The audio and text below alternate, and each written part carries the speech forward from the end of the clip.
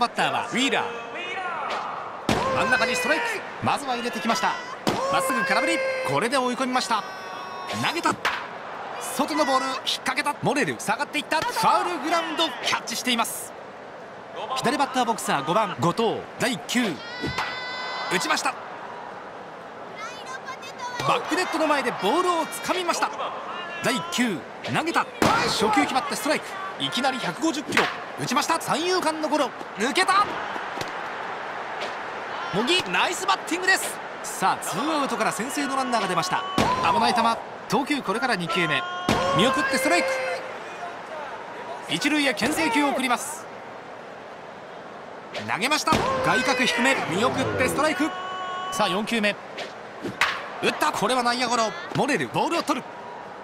あっと送球それた。タッチアウト。スリーアウトチェンジ。2回が終了しまして0対03回の表これからバファローズの攻撃。